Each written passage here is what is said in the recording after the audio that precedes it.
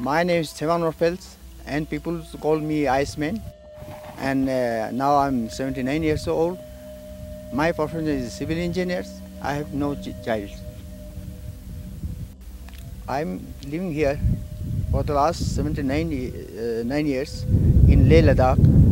At present, I'm working as social work, particularly helping the farmer, mostly in water conservation works. I'm being from Ladakh. Ladakh is the major glaciers uh, situated, and melting of ice and receding of the glaciers speedily. In the regions they are, our main source of irrigation water is the glacier melt water. I am being a civil engineer and come from a farmer family.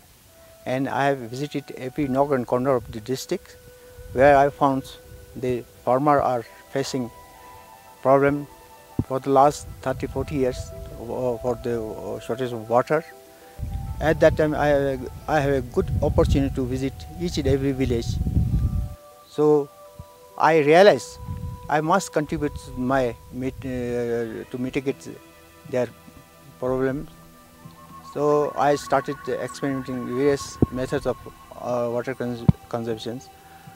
However, in 1987, I invented the artificial glaciers.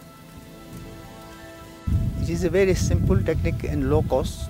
Even a layman once will visit at the site, he can understand and he, he- can implement their own. Uh, One artificial uh, project cost can be about 20 to 25 dollar thousand dollars.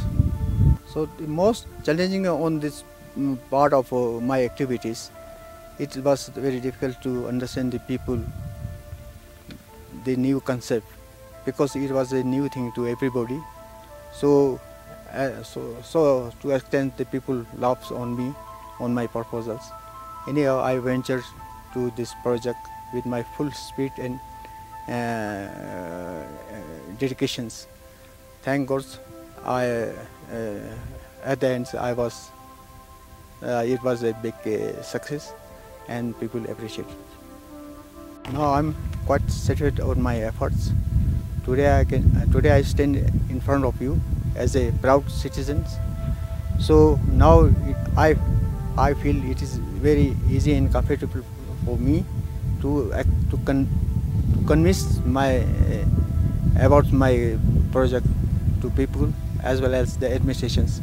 So they also come forward to help me in this my project. Keeping in view of the current situations, every human being must uh, endeavor to preserve every drop of water at their disposal.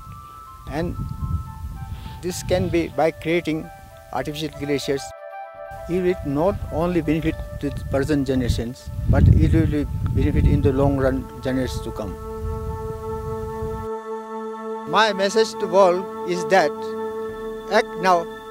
Before it is too late